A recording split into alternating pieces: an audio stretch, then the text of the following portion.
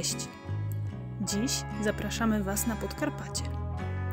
Do zamku Kamieniec, znajdującego się w Korczynie od Żykoniu. Jeśli nie chcesz mojej zguby, krokodyla daj mi luby. To słowa wypowiedziane przez Klarę, bohaterkę jednej z komedii autorstwa Aleksandra Fredro do Papkina. Czy wiecie o jaką komedię chodzi? I dlaczego wspominam o lekturach z podstawówki przy okazji tego filmu? Już spieszymy z wyjaśnieniem.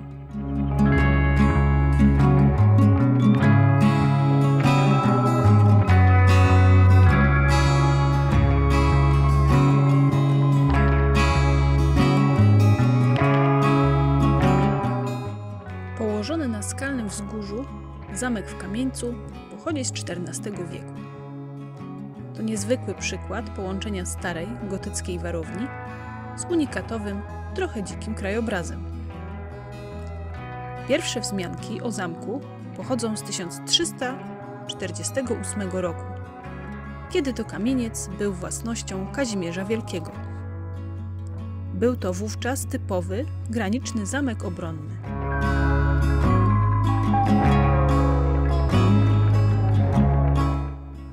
Na zamku znajduje się również niewielkie muzeum Andrzeja Kołdera, który jest pasjonatem zamku i kolekcjonerem.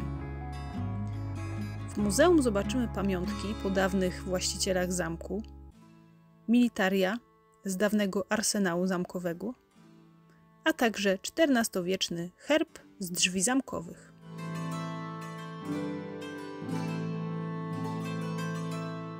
Dzieje owej fortyfikacji są burzliwe, interesujące.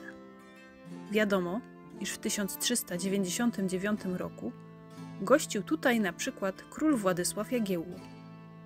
Podczas jednego ze swoich objazdów historia zamku związana jest także między innymi z Aleksandrem Fredro, który w 1828 roku wziął ślub z Zofią z Jabłonowskich, skarbkową.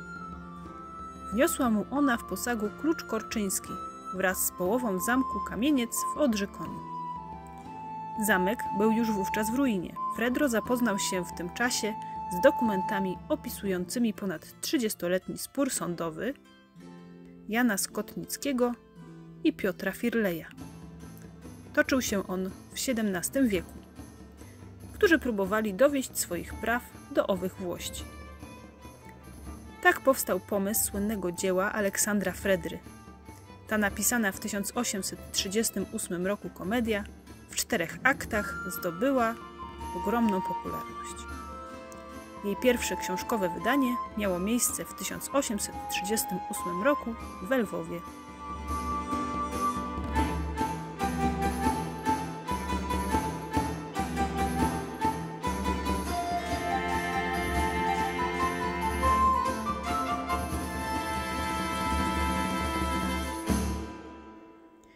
Bilety wstępu na zamek w maju 2023 roku można było zakupić za 10-12 zł.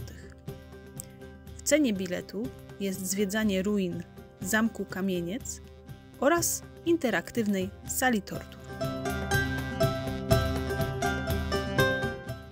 Ratunku! Znowu zostałam uwięziona za niewinność.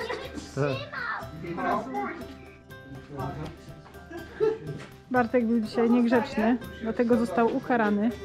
Tutaj jest takie specjalne pomieszczenie, które jest przeznaczone dla Bartka. Jak się Bartku czujesz? Samopoczucie jak? Bardzo dobrze, Tak? Lubisz być w odosobnieniu? oczywiście. Ciekawe, dopiero dwie minuty minęły, a jak tak dłużej będzie, to co? Nie wiem, po dwóch minutach się okaże. Nie wiem, czy ten, to, to krzesło nie byłoby dla ciebie lepsze. Takie o, do torturowania. A gdzie ty idziesz? Gdzie wychodzisz? Kara się nie skończyła, proszę wrócić na miejsce. Może bym cię tu nie zamknął zaraz. Do widzenia.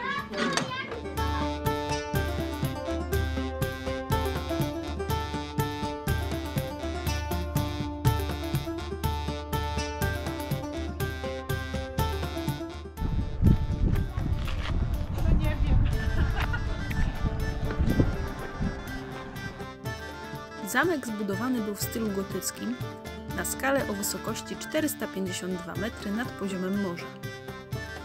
Jego nieregularna forma była wynikiem ukształtowania terenu, na którym została zbudowana.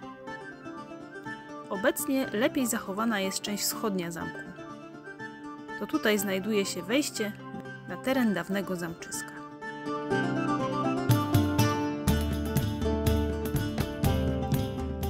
Zamkiem związana jest także legenda o karlicy Kasi, której ducha można zobaczyć na murach i dziedzińcu zamku do tej pory.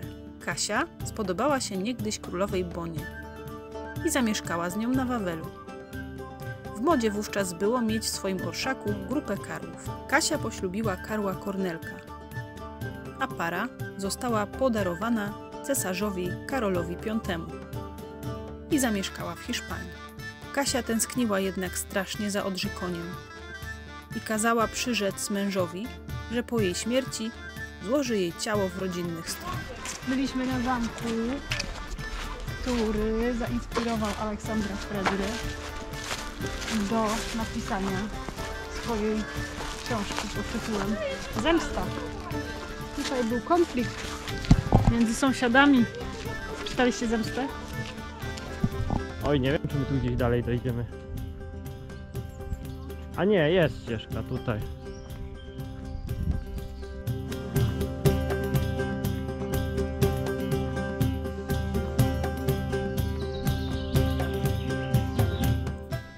Wokół zamku wiedzie ścieżka wśród grup skalnych, które są atrakcją dla wspinaczy skałkowych.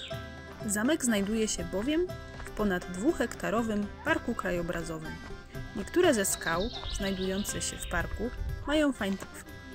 mają fantazyjne kształty, na przykład krowia turnia czy smocza jama.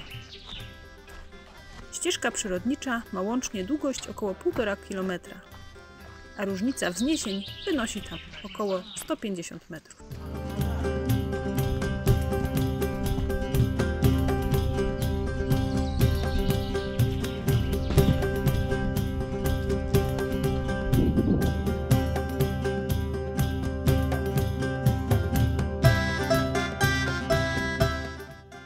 Wizycie na zamku w Odrzykoniu warto również wybrać się do okolicznego browaru, który nie tylko serwuje pyszne piwo, ale i bardzo dobre jedzenie.